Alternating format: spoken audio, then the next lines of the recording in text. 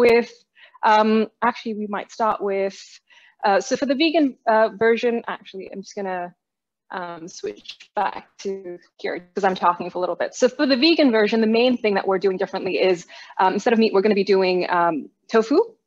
Instead of um, clarified butter or ghee, we're gonna be doing uh, vegetable oil. So those are the two main swaps. And then of course, if you were to have yogurt on the side, you could have almond yogurt, cashew nut yogurt. Those all go great instead of regular yogurt. And other than that, um, you know, the other thing is chicken stock that I'll be adding in, so you'd be doing vegetable stock instead. So uh, just a couple of swaps there. Uh, I'll show you very quickly just how to prepare the vegan um, tofu. So what would actually be happening is uh, you would be getting some firm tofu like so. And what I've done is I've already sliced these up. Um, and the reason I've sliced them up is because you don't want to be grating a big block of tofu, and I'll show you why in a second. Um, because we do want to get that mincemeat texture. We're not going to be able to get that if we have a big block of tofu that we're working with. So to start, I'm going to show you, we're going to use the cheese grater side of um, the tofu. Um, and instead of going, so I'm going to show you how it's going to be like if I did this long ways and downward. We're going to get very mozzarella cheese or tasty cheese, which we don't want because that's basically too big and we want like a minced version, so even more fine than that. Um, if I went sideways and did the same thing, you'll find that, again, still pretty big, not where, where it needs to be. So kind of still, hopefully you can see this uh, quite big. We wanna kind of get, again, like I said, to that mincemeat texture, which means we probably need to be doing something a little bit nuanced. So I'm gonna show you what that is. So we're gonna go between three grate, three lines of grates and no further. And we're just gonna kind of um, do it like we're grating ginger or lemon zest um, or anything like that. And I promise you, I won't finish grating this tofu because I'm not going to be cooking with it today. But what I want to show you is just the result of it. So just um, from having grated it very fine with that motion, you'll see here, hopefully, that we've got now some pretty, you know, mincy, mincy looking tofu. And what I tend to do is I'll squish it up like so, even if it's not quite small yet.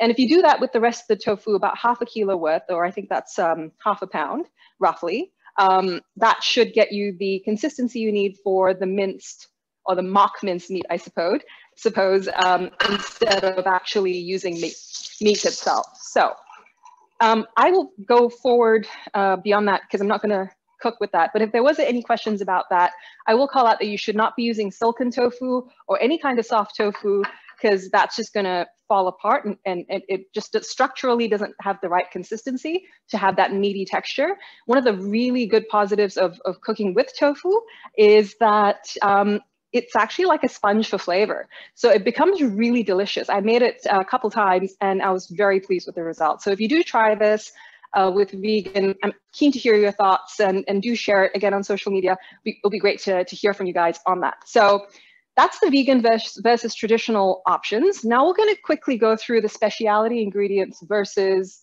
the um, substitute ingredients if you can't get the specialty ingredients. So really quickly, I'm going to just show you uh, the first one on that list um, is actually the red shallots. I might do that one first. So typically we know Spanish onions or red onions to be of this size. Um, hopefully you can see that. And that's there we go. and that's a pretty big onion. And so we've all heard of French shallots. Um, in India, we have red shallots, which are kind of just a baby version. And it's kind of got the shallot structure on the inside in terms of how it grows. Um, they are far more powerful in terms of the flavor. You don't need to use a lot of them. And you'll see that I've halved the amount if you are using red onions versus this guy. Um, and the reason is um, it, it is quite strong, and whereas Spanish onions tend to be probably a bit sweeter. So either or doesn't matter. Um, just understanding it, uh, this one's going to be a little bit more pungent. This one a little bit sweeter. So hopefully that makes sense. Uh, but yeah, I just wanted to show you the difference between the two. Uh, the other one is the chili. So Hari mirchi, which is a green chili, uh, Indian, used in a lot of Indian cooking, is just a wee bit of a chili not a very big one compared to a cayenne pepper. So um, I would say the heat of this one equals to the heat of this one because these guys are quite, the green ones are quite powerful. Um, so if you're going to use this guy, um, I would cut the head off um, and I'd quarter it down uh, lengthways just to get to the smaller size. And you'll see that I start to do that with most of the other ingredients. We're trying to get it to a bite size so that everything kind of is the right, the, roughly the same size, whether it's the meat, the peas, the garlic, the ginger, the chilies. So again, it's about, if you cut a cayenne pepper the regular way, it's gonna be a little bit too big. So quarter it down lengthways and then chop it up and take the seeds out if you prefer. Um, it, don't want it too spicy, but still want a little bit of heat. So that's the chilies for you right there. Um, the next, now we're gonna get into the, the, the whole spices. Um, so everyone knows what a bay leaf is, and traditionally it's the laurel bay leaf. Um, and, and that's in California, I believe, have their own specific species of, of bay leaf, um, which I'm jealous of because I, I don't have access to it. But um, that is not the bay leaf we're going to be using today. And the reason I have it in front of you right now is because I want to show you the difference between the Indian bay leaf um, and the sort of regular bay leaf. So this here on my left, this guy is the Indian bay leaf. And you'll see very quickly that, actually I'll do it this way. You can see the veins of the leaf kind of go from the tip where my thumb is all the way up to the top, whereas a bay leaf is more of a traditional looking leaf. Hopefully you can see the difference. Um, so that's how you'd be able to tell that this is an Indian bay leaf. They don't typically get sold in, in most grocery stores. You'd have to go to an Indian grocery store. And like the Brazil nut in Brazil, in Indian grocery stores, they just call it bay leaf. So uh, you'll have to pay attention to the veins to be able to establish the difference. So hopefully that helps you sort of be a little bit more discerning the next time you're in an Indian grocery store. But this is the one we're going to be using today. Now, um, this is actually a leaf from a cinnamon tree. And that's why we uh, have cinnamon as a substitute. Uh, now, um, before I move on to, um, in case you can't find this leaf, I also want to just quickly show you what curry leaves are. And that's these guys here, they're fresh.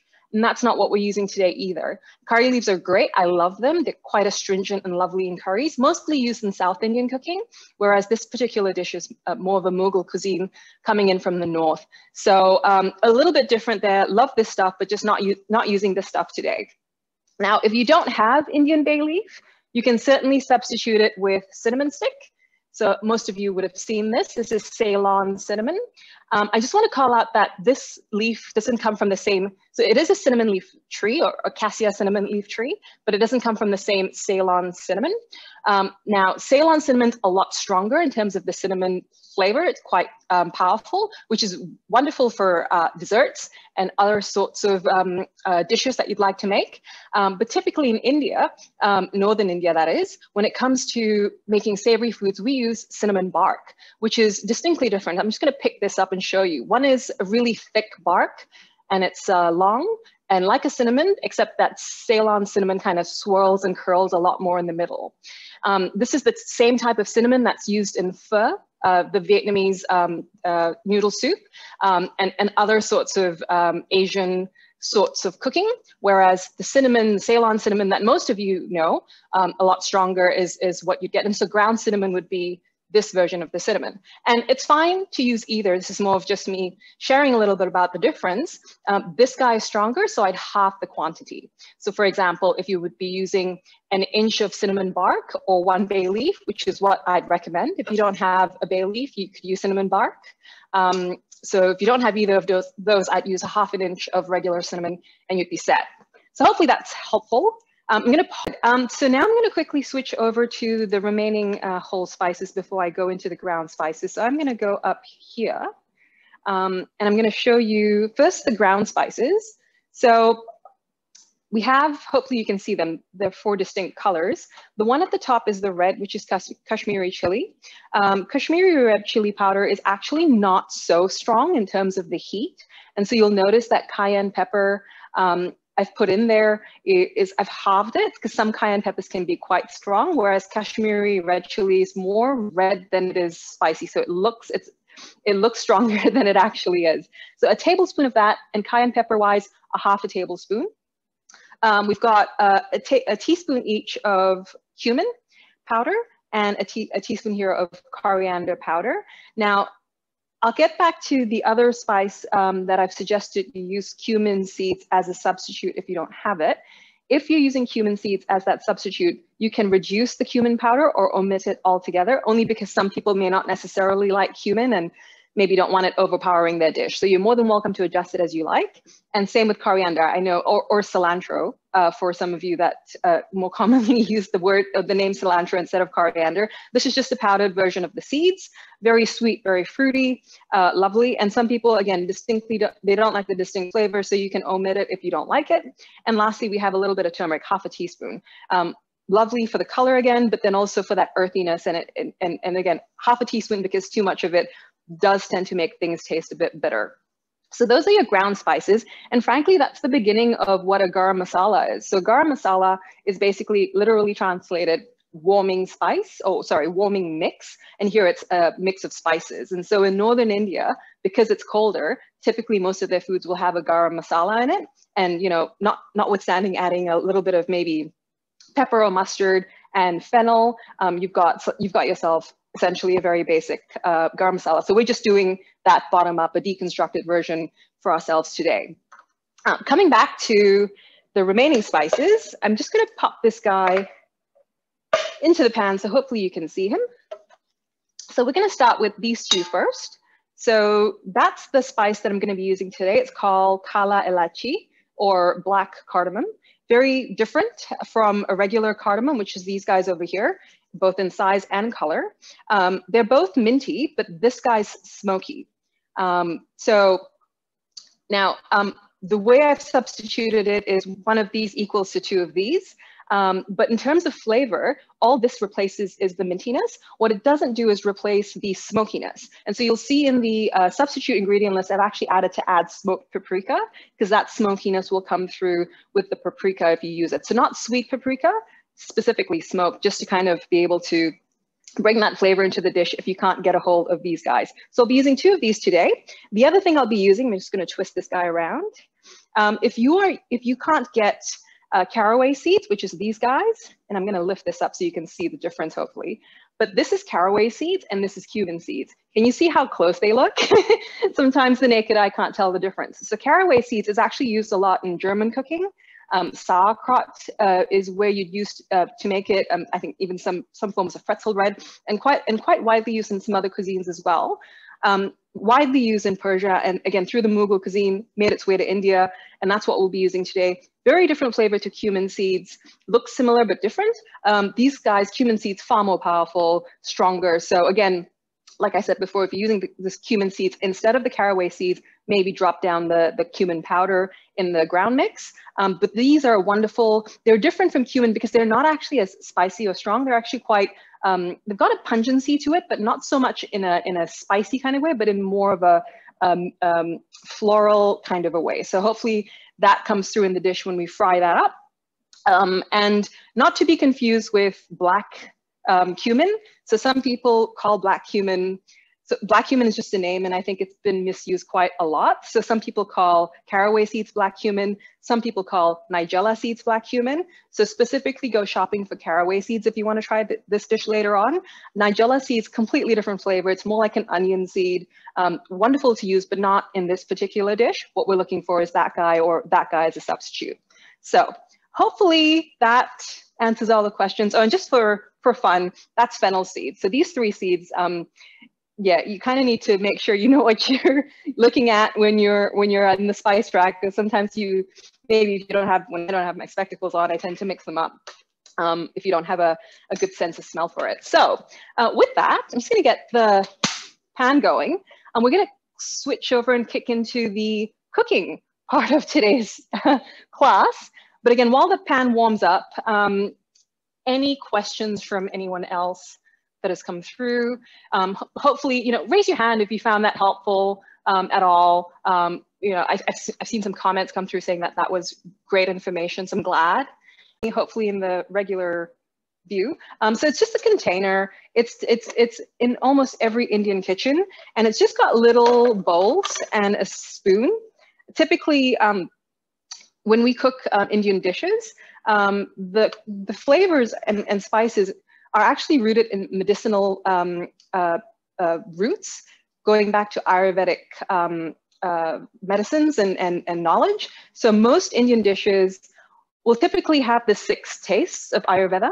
So that's, um, you know, the ones we know, salty, sweet, spicy, sorry, salty, sweet, sour, and bitter are the ones we know. And then um, astringent and pungent are the other two that maybe aren't so common in other cuisines. And so this guy just kind of has, you know, seven little uh, bowls that typically have six to seven of those flavors. And so I won't get into it today. Maybe we can do a different class next time that kind of talks a little bit more about that and how you kind of mix and match them. Because spices used in North India are very different from spices used in South India because of weather and, and just kind of local uh, foods that are available in terms of the climate, like for example, coconuts down south instead of um, dairy up north. And so the spice rack just kind of gives you those, those elements to play with. So I feel like making this, I'll put more turmeric, less of that, but typically they kind of get used up pretty quickly. So they can all just be put in one little box. It's just a spice box is what that one is. Um, your spices? Um, I typically still toast them like I will do now. I'm actually going to temper them specifically with the ghee that I'm going to pop in. So just while I answer that question, four tablespoons of ghee going in. Um, and so the reason I temper them is because like any spice, they all have oils in them. Anything from a, even a mint leaf has some amount of oil. That's where its flavor is stored. So heating up spices always helps, particularly if they've been in the pantry for a long time. Um, but keeping it in that box actually doesn't help in terms of, because all the spices will start to kind of mix together and this, the taste can kind of maybe you know, adult trade each other. And so the reason you'd keep that in that box is if you're going to use it regularly. So I wouldn't get one of those unless I cook regular Indian types of, or at least use, um, do cook food that uses those spices a lot. Um, otherwise, they do tend to start to uh, get sort of a, a little bit of um, what's the, I'm thinking of the Malay term to say this, but it'll absorb a lot of air. It'll interchange its flavors amongst each other. So if you if you don't cook typically a lot with uh, Indian stuff, I keep them in separate bottles um, just so that you don't sort of mix them up too much. Hopefully that, um, so I'm gonna switch cameras again. We've got this guy going. So I've got ghee in there and, and ghee is one of those really wonderful, um, controversial spice, but a really wonderful one because it actually like honey never expires um, a little known fact. And so it's really good for you, um, obviously not in copious amounts. Um, but what we're going to do today is we're going to temper uh, some of the spices we mentioned before. So I'm going to get two of my um, uh, black cardamoms. I'm going to pop them in the mortar and pestle, and I'm just going to open them up and put that in there. So there that goes. And that's just going to start tempering. The next thing that goes in there is my bay leaf sorry, the Indian bay leaf, which has magically disappeared. Now here it is. And that goes in. And the other thing that's gonna go in is uh, the caraway seeds. So one teaspoon of them. So just a nice little amount, just scattered all over. And hopefully you can see that already warming up. So just a little bit of a saute. Um, ghee has a really high smoke point, so it's going to burn it pretty quickly if you don't either reduce the fire or keep an eye on it. So if you are cooking with ghee, be mindful of that. Um, if you're doing a vegan version, uh, canola oil and vegetable oil, not as high a smoke point, so uh, you should be okay. But yeah, just something to be mindful of. So those have gone in, and the next thing that's going to go in after this is the onions. So we're going to saute the onions for a couple of minutes before we add some of the other ingredients and then we should be able to get the meat in there. So pushing that to the side. There we go. You crushed the cardamom, right? Yes, I did, um, in, in a mortar and pestle. So I use this little guy. Um, hopefully you can see that or that. uh, so it's, it's, it's a different one too. So it's an Indian one because when we use our spices and we use marble, they kind of kind of get all mushed in there. So steel kind of keeps it clean. Um, so it's a steel version of it, but you can use any mortar and pestle you have. Um, it's funny, for, for Malaysian cooking, I have um, stone mortar and pestle. For uh, Indian cooking, I have a steel one. And for, um, you know, just more continental cooking, I have a marble one. So it's always fun to have a couple of different things at home. So the onions are going in next. I've just diced them up.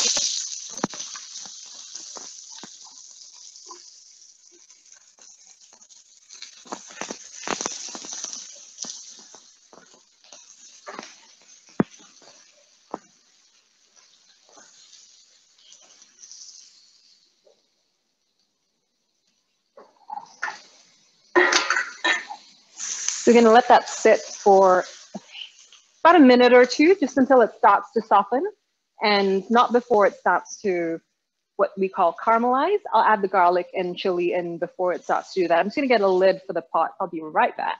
All right, it smells wonderful over here right now. The ghee just kind of really has that creaminess in its um, scent, which is quite lovely. Uh, so I'm getting ready to put the ginger and garlic in. What I'm gonna quickly call out before I put it in is, hopefully you can see this, but I've actually chopped up the ginger into little itty bitty diced ginger bits.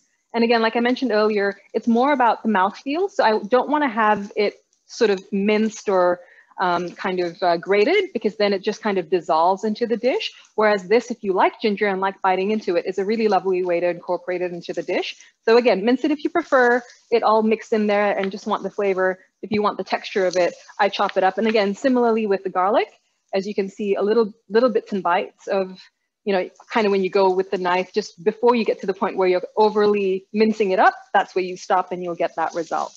So first things in is the ginger.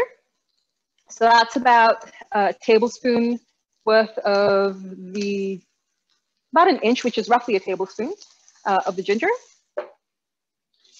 I usually measure an inch of a ginger like that. So when you chop that up, it becomes roughly a tablespoon's worth.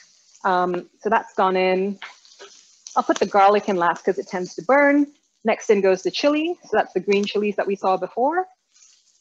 And again, if you're putting cayenne chilies and again, your tolerance to spice isn't too great, maybe you can omit the cayenne pepper later on, but keep the smoked paprika if you don't use the black cardamoms, just to get that smoky flavor. So mixing all of that in together,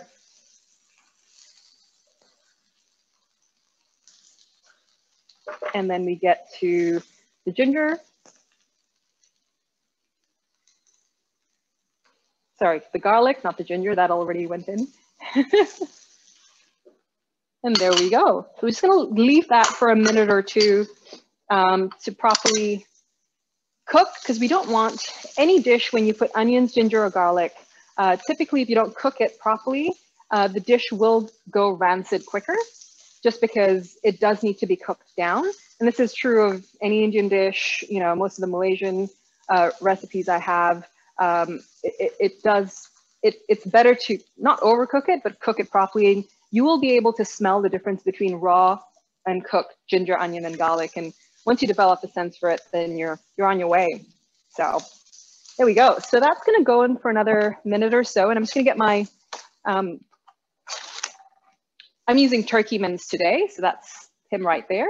Um, now, if you're using lamb, um, and I didn't call this out at the start, but you should probably marinate it in a couple tablespoons of, of yogurt. The reason for that is to just get rid of that gamey uh, smell that some people might be sensitive to when it comes to mutton or lamb.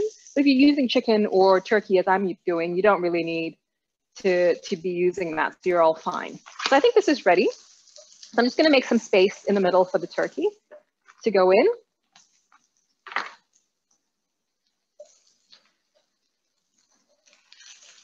I'm just gonna let that cook down.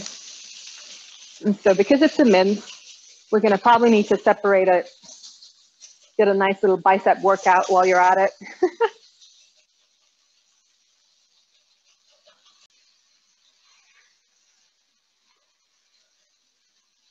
Now, one of the ingredients that I haven't put into this dish that I've seen others add is tomatoes. Um, and that's probably because, actually, give me a second to just get this going and then I'm gonna cover it up for just a minute so I can chat about that. I do not want to compete with that. So you can add tomatoes in, totally fine. What it'll do though is it'll add a little bit of water because tomatoes tend to be quite juicy. So I'm about to put some chicken stock in after I add the ground spices. I would just reduce the chicken stock if you choose to add tomatoes, if you like tomatoes.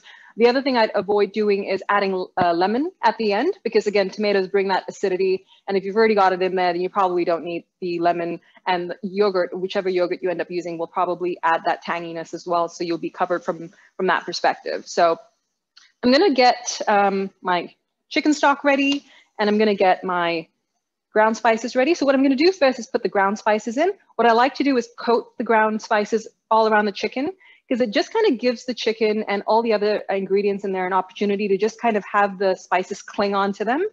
before we kind of bring the chicken stock in to kind of make it a little bit more um, consistent throughout the dish. And um, I find that just kind of intensifies the flavor a little bit. So in that goes. And I'm going to stir that up.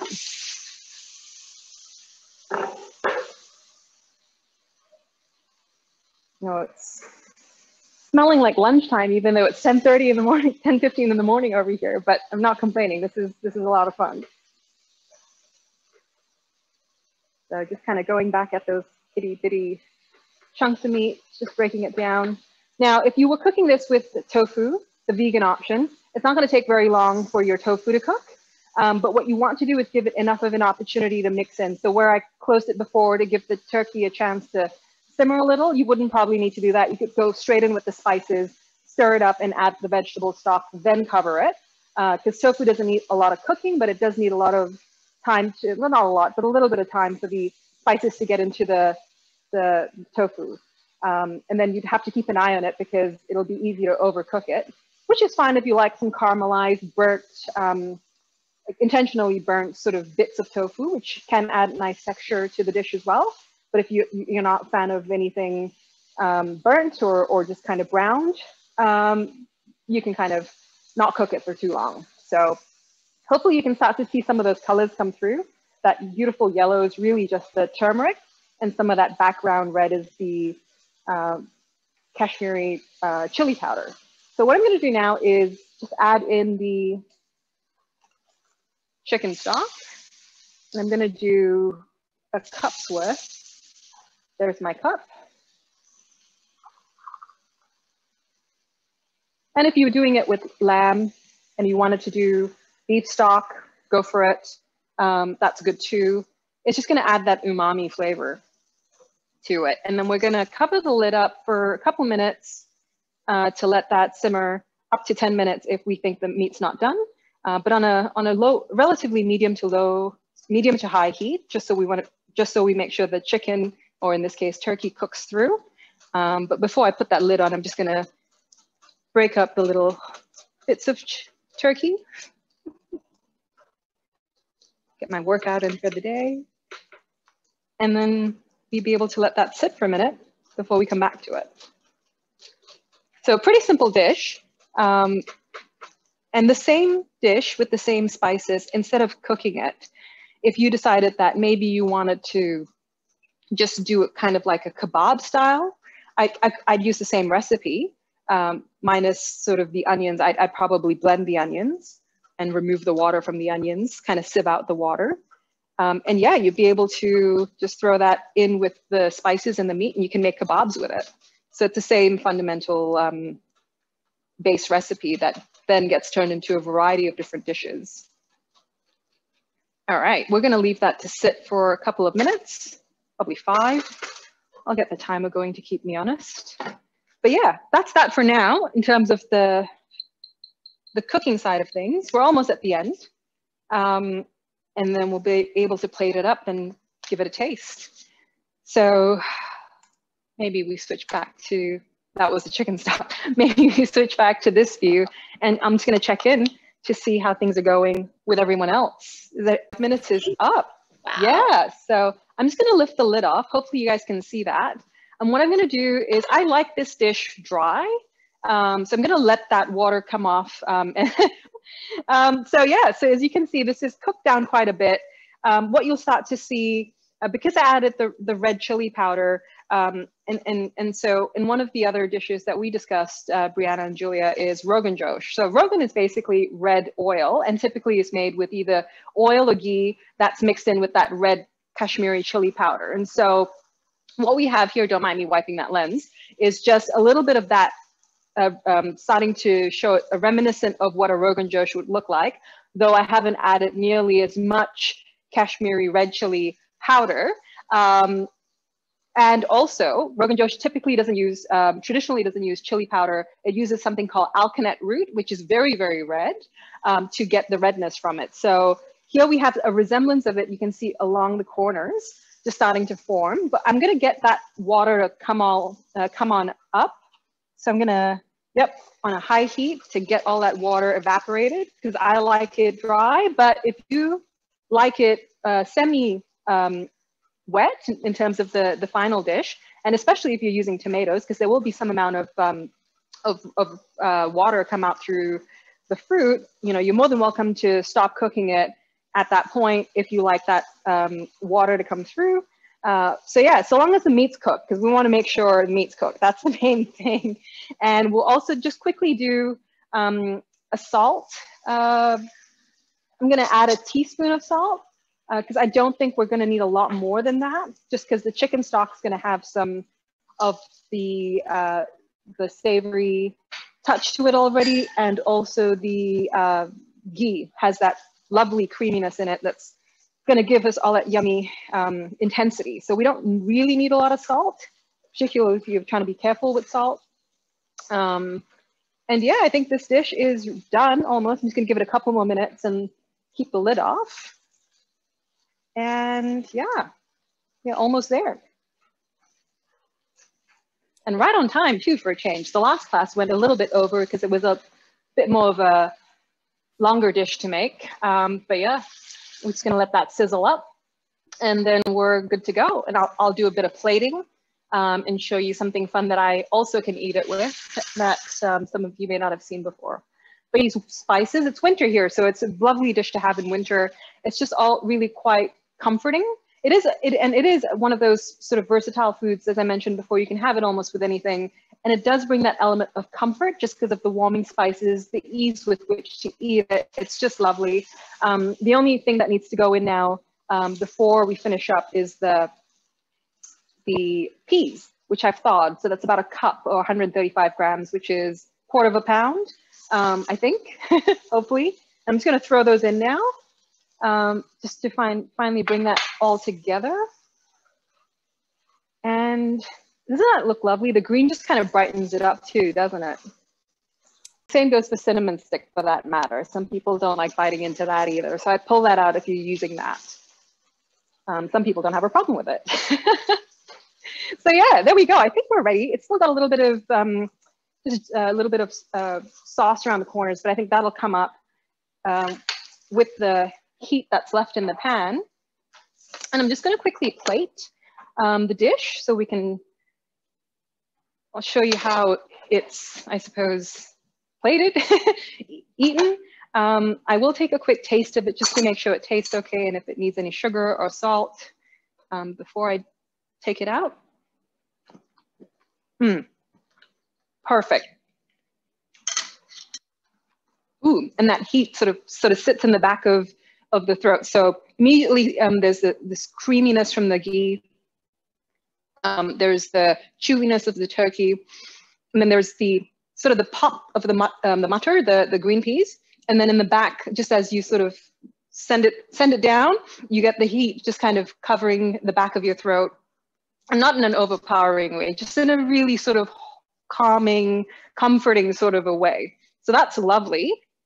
Um, now, I'm going to plate this up and here we go. So I've got my lemon wedge. Actually, how do I do this? Maybe I do it. Um, see, I'm going to switch over from that to here. So I've got my little lemon wedge. Um, I'm just going to take it out. You may not see this, but I'm just going to pop him in here. And then maybe switch back to the other camera because that might be ideal. Actually, what I could do is have a bit of, you can see that. Move you. To, so there we go. That's how you can see it. So that's the keema. I'm just going to add a little bit more. Um, how I would eat it is with some lemon juice um, and some yogurt. So I would just add a dollop of it on the side, like so. So you can kind of mix it in as you eat it, so it's not fully incorporated. You would take your lemon wedge and you would squeeze it on top and it's ready to go. I would have it, um, I especially love having it with this guy. So he's, um, I guess it's called papadum, but it's actually got caraway seeds in there, if you can see them, um, little itty bitty bits of them. And I've just sort of, I've, I've, I've done the shortcut version of this. I've taken um, what is typically a raw version of this so a regular version of this before it's cooked looks like this. Um, and it's just flat, um, I think, and I'll actually defer to mom, maybe she'll keep me honest, but it's made with um, uh, besan, which I think is- um, Lentil flour. It's lentil flour, yeah. So uh, mm-hmm. is, I think, specifically chickpea flour, but it's flattened out and dried. So it's almost like, um, um, trying to think of an equivalency to it, but it's got uh, caraway seeds in there. What you do is you throw, you can either fry it or you can, what I do is spray oil in it and put it in the microwave and just nuke it for a couple of minutes and it comes out beautifully. And so hopefully you can hear this. It's really crunchy. And so it goes really well in terms of the texture to eat it with, with this dish. So again, rice, salad, roll it up as a burrito, um, a burrito um, to, to eat. Tacos. You can have it with flatbread. Say that again, Mom. Yeah, you can put in tacos also.